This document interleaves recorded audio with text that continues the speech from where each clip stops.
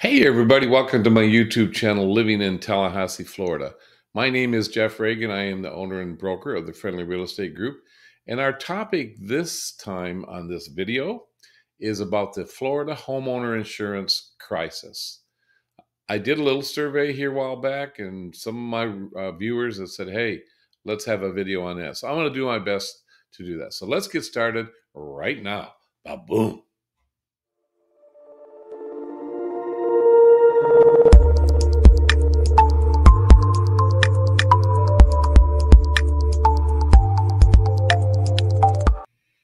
Hey, welcome back to my YouTube channel, Living in Tallahassee, Florida. I want to say thank you to all of my dear loyal subscribers. Many of you have subscribed uh, months, maybe even years ago. I started this channel really uh, about real estate back in August of 2017.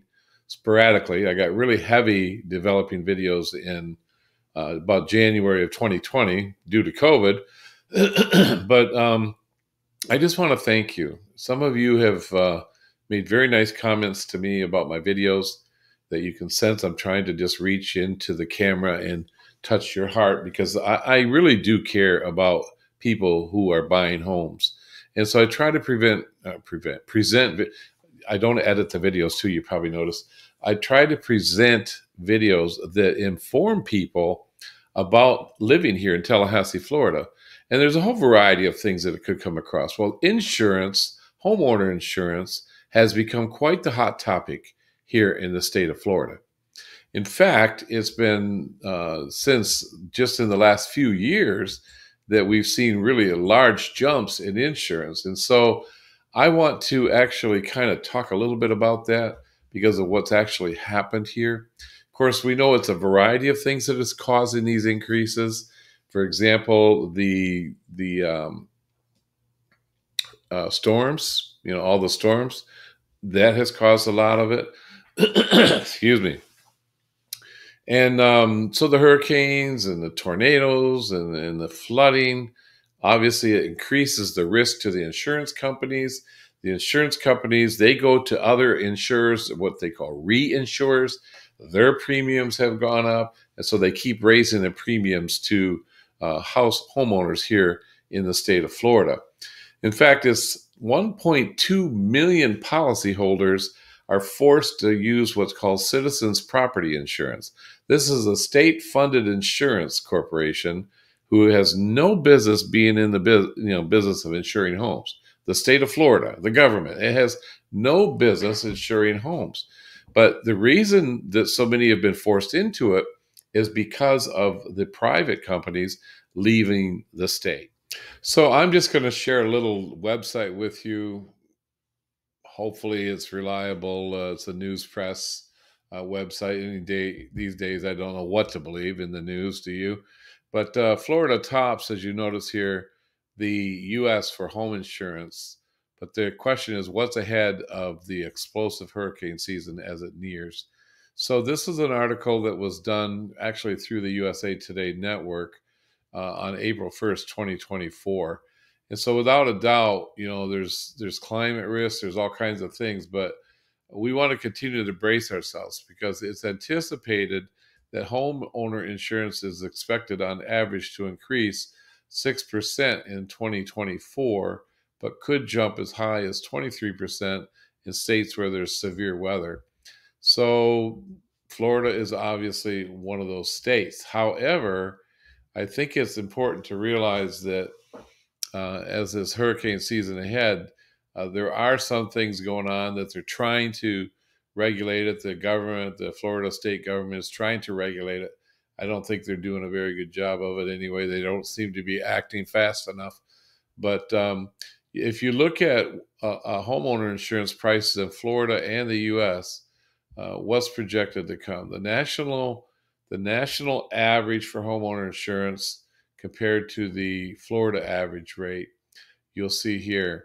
While homeowner home insurance rates increased by 19.8% between 21 and 23, America's average rate was about 2377, which is still far below the average rate of 10,996 paid by Florida homeowners. So quite a difference there, right? And uh, so they're using these stats here, as you can see, uh, as averages. So we expect our rates to go up a little bit more, but there's been some legislation that was passed that is a, passed actually in the month of May. Remember, this article was done in early April. That's supposed to take effect in July of this year, uh, 2024, uh, to kind of put a cap to kind of try to allow uh, more around to get into the insurance and to allow the um, uh, what's the name of that thing? The citizens insurance uh, to have more leverage or more coverage. But at any rate, it's not a good thing. But uh, I'm going to share some stories with you in the next little clip here and let you compare what is so-called averages in the state of Florida uh, to what's happening here in Tallahassee. But what I want to tell you is some interesting stories because I've worked with a number of people from out of state who have come here to buy homes because they saw this YouTube videos, uh, the YouTube videos on living here. And uh, of course, as we get closer to actually a closing, homeowner insurance has to be shopped for. And what we found is, uh, interestingly, when I compare the homeowner insurance with North Florida compared to South Florida, it's an amazing difference. Now, the whole state's expensive, but it's not nearly as expensive here in the Tallahassee market when it comes to homeowner insurance. For example, a new construction home uh, sold one to a, a, nice, very nice young lady uh, from India, and uh, she bought a new construction home, and her house was, uh, Anamika, you know who I'm talking about. Her house was uh, actually it was only like seven or eight hundred dollars a year for her homeowner insurance but it was a brand new construction home. Uh, also, uh, we are under contract for a house uh, with some dear friends, uh, Graham, Desiree from South Africa, and their homeowner insurance is about 700 or so a year as far as the quotes are getting right now. And again, it's a new construction home, not even finished yet. But now, when I go to deal with people who are buying resale homes, this is a whole different story. So some of the resale homes are what I would say moderate.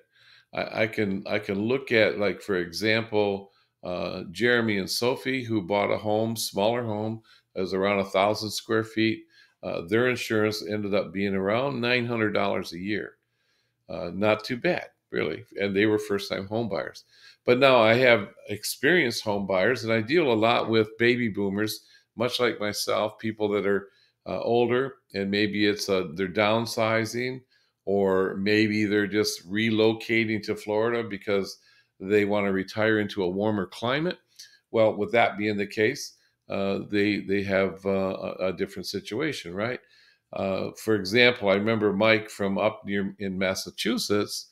He bought a resale home. Now it was a a 2,000 square foot, 2,100 square foot home, and his homeowner insurance ended up running him about $1,800. So then I got this call the other day from Bruce in Fort Lauderdale.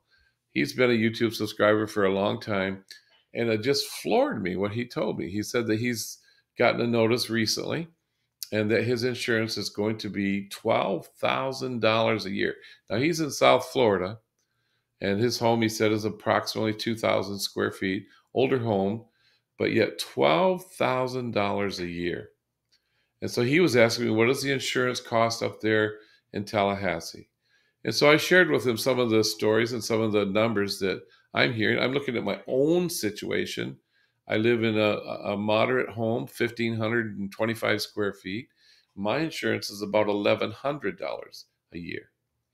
But again, when you compare the homes uh, and the insurance and things like that from North Florida, here in Tallahassee, especially, to South Florida, or it's just uh, like the homeowner insurance is two, three, four times more.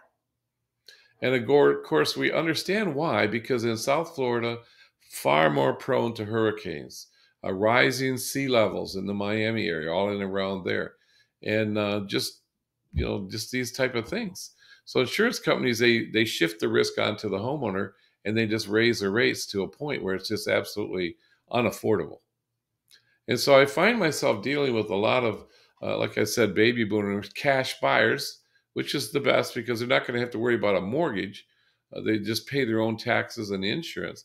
But when they buy here to retire here in this area, uh, they're getting the best rates probably for homeowner insurance. And that doesn't mean it won't go up more. Can't stop it. But we do have a better uh, seemingly risk ratio for the insurance companies. And I'm I'm not an insurance person in that sense, and I don't know how to uh, quote all these statistics and stuff. But one thing I do know, our insurance is cheaper here uh, than it is in South Florida. So if you're thinking about moving uh, to Florida, you might ought to consider the Tallahassee area. It's true we don't have any beaches, but we're not far from a beach. You can be there within an hour to two hours. Some very nice sandy beaches, but yet uh, our our home prices are good still. Where our median prices are lower than uh, the rest of the state here in uh, Leon County, and so uh, there's all the more reason to look at it. But I know a lot of people are fleeing from the state of Florida completely uh, because of the cost of homeowner insurance. So I just wanted to address that just a little bit because there, there there's no solution that any of us can come up with. You know, we we can only hope that the frivolous lawsuits and things like that that cause insurance rates to go up that they would stop, or or some kind of regulation for against that would would prevent that because lawyers are the ones making all the money, right? And or you know if we could just get more competition in our state, uh, private insurance companies uh, to compete against Citizens Insurance, our state funded homeowner insurance. Then, of course, you know, if we could get some legislature or anything like that uh, to to be ruled or they put caps, it just seems like there's no no uh, limit to how much they can raise. I mean, I did get an increase in my insurance about two years ago. This this year I got a small increase, but two years ago I got a 30% increase and that was quite a quite a bump. I mean, even though I'm paying about eleven hundred a year now, uh, but that was quite a bump. That thirty percent increase. I got a small increase this year. So, if you have questions about it, I'd love to talk with you. Uh, I'd love to help you if you have the desire to to move here to Tallahassee, Florida. I am a, a real estate uh, broker. I own my own company. You work with me personally uh, or with some of my agents to assist. And so uh, our goal is just to make you comfortable. Please feel free to look around at some of my other videos. Uh, I'm going to link you uh, right here a video about some of the pros and cons of living here in Tallahassee. And I'd love for you to watch it. But feel free to reach out to me anytime. Uh, my name, my phone number, and email and everything is in the description below on this video. And I would love to help you out. So, uh, again, my name is Jeff Ragan. I'm the owner and broker of the uh, friendly real estate group. I almost forgot the name of my own company. Can you imagine that? And so, yeah, so uh, feel free to reach out anytime, and uh, I'd love to be your realtor here in Tallahassee. Thanks for watching, and we'll see you on the next video.